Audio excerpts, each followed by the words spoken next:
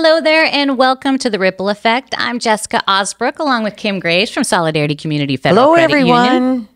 And today we have Lisa. Lisa is going to join us, and she is with 4C, which is very interesting.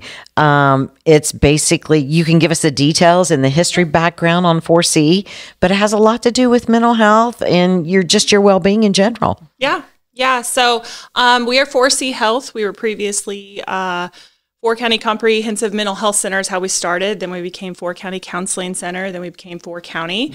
Um, and that was because we served actually four counties when we started. so yeah. yeah, Makes makes total sense, sense. yeah. So uh, we served Miami, Cass, uh, Fulton, and Pulaski for you know probably around 40 years, and then we really started to expand. Mental health needs were out there uh, as well as substance use needs, and so we really started a major expansion at that point. And- Something I think is really interesting. You've talked about all the changes you've made over the years, Right. the evolution of mental health care, and Yeah. you guys have evolved, which I think is extra Yeah. special. Oh yeah, we've definitely evolved. We have um, around 425 employees now across 14 Wow. counties. Big program. Yeah, big program, um, and we serve the entire lifespan. And one of our biggest missions has been um, access in in any way, and so that's really what's caused that expansion. As we really wanted to be in these rural areas where access is limited, and we wanted to be there at the time that you know somebody needed that mental health or substance use support. Do you, and I know you guys have been in business 17 years. Actually, 50 longer, years. 50, 50 years, years. but 50. I've seven- been there 17. You've been there 17 years. Okay. It was, so my um have you noticed that either prior to COVID or after COVID, which have you noticed it being more of an impact either prior or after? Probably after, right? Yeah, definitely. I mean, uh, suicide rates have increased over the past few Right. years, unfortunately, and so that's really um, been a that's been a, one of our steps. Is you know, okay, well, we've got to have these crisis services available, Right. And that needs to be walk-in crisis, or if somebody just needs to be in one of our crisis stabilization units voluntarily to get that support, but not actually be inpatient. Um, and then our mobile crisis teams are huge in our counties. So, um, you know, if someone calls 911 and it's a mental health or substance use concern, we actually have a team that goes out in the community and responds uh, to that individual. That's what I was going to ask. If it's a 24 hour or no, 24/7. if you decide anything's going on with you, you can only call between nine and five. No. Definitely, you don't want that. No, Yeah. no, no. And that's been, you know, such a huge thing for us is just having, you know, that access point wherever we are. Mm-hmm. Yeah. Emergency rooms. And so you have a team that will actually go out and and assist with whatever the situation may be. Yeah, yeah. So I mean, I think that's awesome to have a mobile unit Yep. that will come to you in a time of crisis. Now, does the police department in mm-hmm. these or the sheriff's department come alongside of you in these counties so too? it's a it's a it's basically a partnership between law enforcement and ourselves. And so, you know, law enforcement, they have a place in all of this, right? And so they're, Right. they're looking for safety of the individual, but there comes a point where they just they don't feel equipped to be Right. able to And they're not, that and they shouldn't have and to they be. shouldn't have Right. to They're be. not mental health care providers. No, That's no, not- and they yeah, right. and that's that's great. So they will, you know, make sure they've done what they need to do at that scene, and then they can move on Mm-hmm. with what is happening, and we can then just address that crisis in front of us. Now, you said you serve all spectrum of ages. And when we're talking about younger children, what kind of services do you offer there? So um, we also work with like um, Department of Child Services, right? So there may be some parenting involved when it's an infant or a, you know a young toddler. We are in Head Start programs, so a lot, a lot of times that's also in the parenting aspect, but also working you know, with some behavior management with those um, those young, that younger population. And then we're you know all the way through with our youth, adolescent, teenager, and then in adulthood. We serve um, about 44% of who we serve is between ages um, 22 and or 25 and 64. So that's that's our biggest. Wow, that's that we pretty. I mean, that's yeah, yeah. pretty wide. It's not like they're in their 40s or their 30s. Yep. You have a Yeah. broad range. Yeah. So if I want to find out more information besides picking up the phone and calling, what is? Do you have a website? Yeah, of course. So it's 4chealthin.org. Um, on there, it has everything that we offer. It has all of our locations. It has um, we have a chat now feature. So if somebody jumps on there Oh, and says, yeah. "I just need to know like how do how do I start services," Um, they can also they can start a you know a new patient packet right there, and, and we'll call them and get them going. You know, we talked a little bit about suicide and that those rates have been going up. And I imagine, especially in younger people, but not just younger people, adults as well. And Right. I think when it comes to younger people, I'm not sure as parents that we are quite equipped to walk our kids through this. Well, how many parents may not even be aware That's of the situation? That is right. Right. know? Yeah, it's tough with with social media, cell phones, Mhm. all of that. It's it is it is harder for parents, you know, to identify Right. that. Um, and that's why one of our focuses is also educating the community. We have a mental health awareness training grant. Um, and so right now we are able to go across all of our catchment area and train for free in mental health first aid and Ah. QPR, which is suicide prevention training. Wow. That's great. Yeah, yeah. So we're trying to push that out everywhere Mm-hmm. because it at least gives, you know, a set of tools that can be used for somebody in the general public to be able to know, okay, what, at what point do I refer and how do I do that? Do you think the sui- the suicide rate is higher than what it's ever been? I mean, Um, or what's yeah. your what's your take on that? Yeah, yeah, definitely. And I do think COVID has had an I do impact too. Mm-hmm. on that.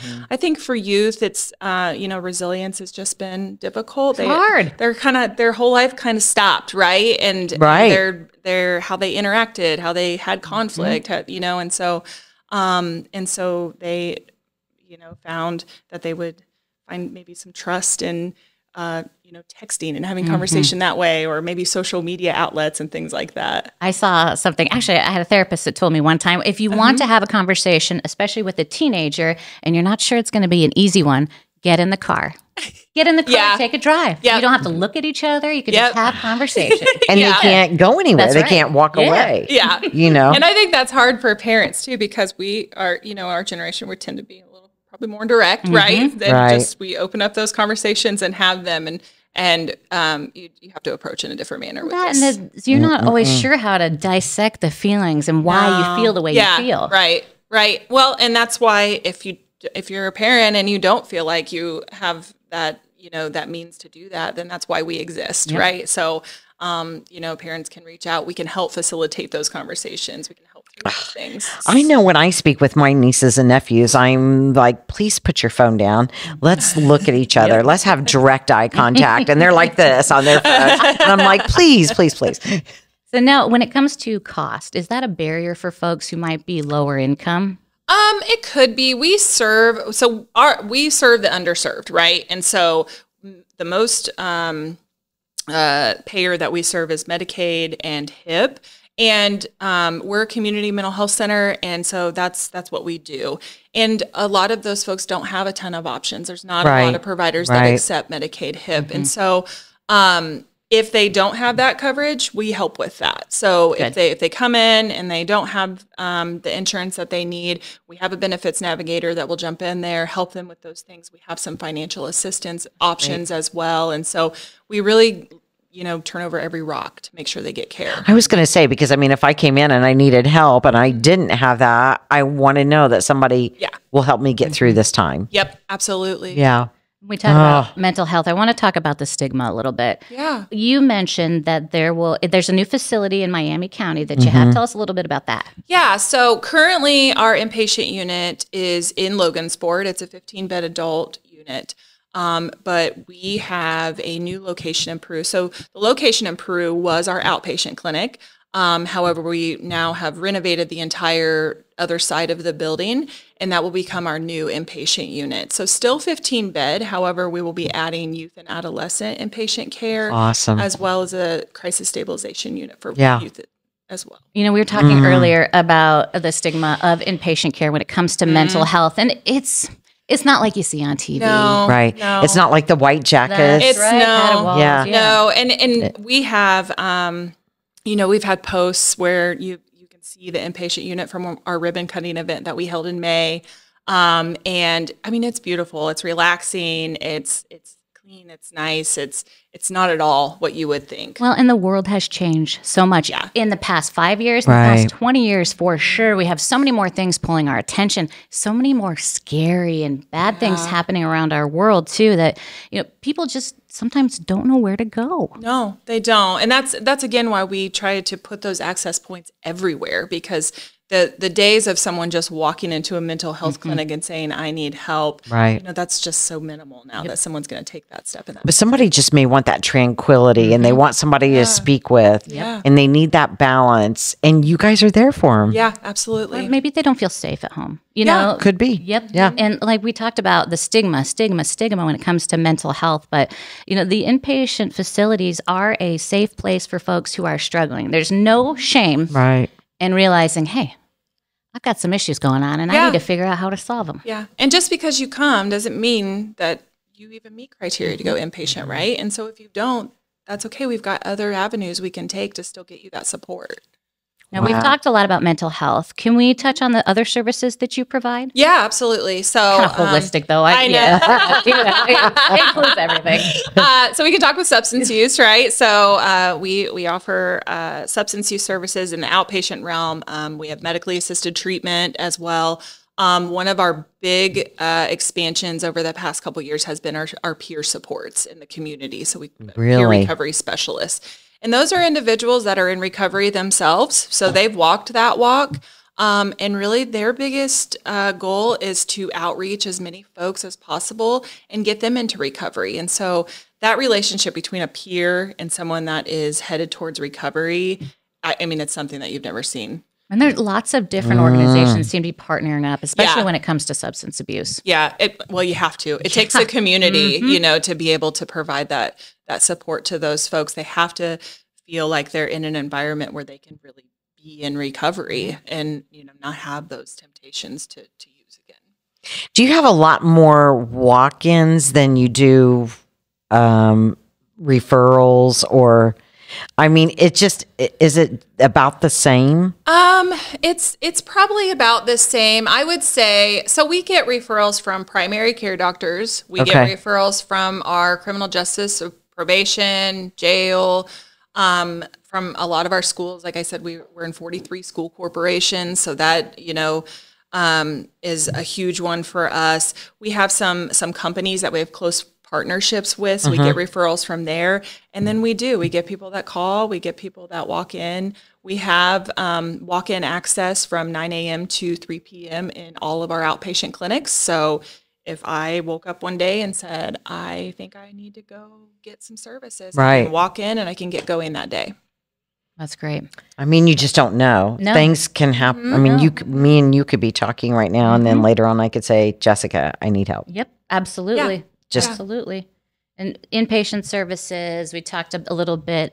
Um, what about Medicare? I think you mentioned that earlier. Yeah, we serve Medicare population as well. Um, like I said, we do the whole lifespan, uh, and so uh, while it's not our our um, you know I said forty four percent, right? We're between age twenty five to sixty four, but we have you know a lot of clients after the age of sixty four that definitely still need that mental health support. Wow. That's an it's an amazing service that you all offer. And honestly, I wasn't familiar with it. So this has definitely enlightened me to Mhm. say, hey, if someone needs assistance, then I can definitely refer them your way or have them reach out to you and just talk to someone. Yep, absolutely. We also started offering primary care, so How nice. that's another entry point, Oh, right? So- yeah. it definitely is. Yeah, so we so we've started primary care. It's in our Logansport clinic now, soon to be in Peru Rochester. We'll be in Kokomo Mm-hmm. um, at some point, and so um, that's really exciting too because sometimes you know folks need primary care, and then we identify maybe they need more, but maybe they don't. Right. We've been talking a lot about one end of mental health when it comes to the conversation we've had today. But mental health comes in all forms. Maybe there's someone who's just struggling a little bit. You know, Right. they can't seem to get out of the dark. Do you offer referrals for therapists, that kind of thing? Yeah, so we actually are one of eight um, agencies across the state that were awarded CCBHC, which is Certified Community Behavioral Health Care. Um, so we are a demonstration site, and so really the trajectory of community mental health is changing to this model, and so we are one of the the pioneers for this, That's which is super exciting. but a big, big part of CCBHC model is coordination, and so we have to be great at coordination, not just internally with one another, but externally, primary care, family, um, any specialty care that they may have, any other, you know, services. Somebody may have therapy with us and get medication somewhere else. And so we uh, already focus on uh, on coordination and collaboration, but we've got to. We, we really are. We'll get to the point where we are uh, much more heavy in that area. Oh my gosh. Busy, There's- busy. I know. And there, I had no idea, but I think it's awesome. Yeah. You know, I just think it's amazing that we have this service out there.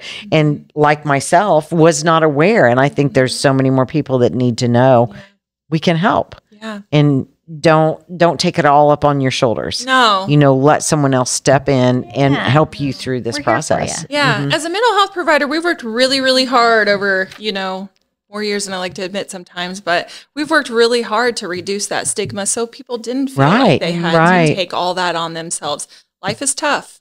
Sometimes situational things happen. Sometimes uh, when you have a diagnosis that's just going to be there and you need help managing it. Right. So that's that's what we're there for. Now, you are a not for profit organization. Do you take funds? Do you take donations? Is that something that folks can do to we help? are self-supporting, so no, we don't do donations. Um, we we try to actually do as much as we can for the community. So that's Mm-hmm. why we, um, like I talked about the mental health awareness training grant, so we can go out and train folks. Right. Um, we are often um, seeking grants so that we can continue to expand and Mm-hmm. and um, get out in the community more and more. Sounds great. Now, is there anything it. else you'd like folks to know about 4C? Um, no, just that, you know, we continue to grow, we continue to expand, um, and that access is really key. And I, we've talked about access a hundred times over on this, in this conversation, right? But, um, access can be in the form of a call, Yep. a walk-in, you know, calling our mobile crisis teams, uh, getting that crisis stabilization care. And once you access us, we want to be able to keep, keep you engaged, uh, until, until you don't need us anymore. I'm so thankful for your program. I just think it's an amazing service that you're offering to all these other, I mean, to every community that's Yeah. nearby. Well, and, mental health knows no socioeconomic You're right. background. You're right. knows nothing. No. It just is with everybody. Yeah, it Right. not discriminate. No, it does not. Wow. That's very well put. hmm Now, Lisa, if we need to get a hold of you at 4C, Mm-hmm. what's the best way to reach out? So we have our website, which is 4chealthIN.org. Um, that has, you know, our crisis number on there. There's a chat now feature, so folks can get on there and, and start chatting about services. You can refer yourself as well. Um, we have a crisis number, which is 1-800-552-3106. 24-7, um, it will go, you know, if you call at midnight, it's going to go to our inpatient unit and they will help. And that's on the website too, that phone number Yep, too. yep, okay. that number is We need there. that too. Um, there's also a tab on there that lists all of our services in detail. So someone can get on there if, if we have group home care, for example, we have you know inpatient, we have primary care, we have um, assertive uh, or yeah, assertive intensive services, which is for adults. So we've got a whole list of services, and so Right. really the sky's the limit. So if people are curious, jump on there and, and check it out. And if not, they'll call you and you'll you'll send them in the right Yep, direction. we you will. know? We will. Mm-hmm. Yeah. We will. Our Oh my gosh. great with that. That's awesome. Thank you so much for joining us today from Thank 4C. you for having me. Thank you so much. This was so exciting. It really was. Check Yeah. out their website. One more time, Lisa, how do we find you? 4chealthIN.org. 4chealthIN.org. I'm Jessica. This is Kim. We're from Solidarity Community Federal Credit Union, and we sure appreciate you watching The Ripple Effect today. Have See ya. a great day.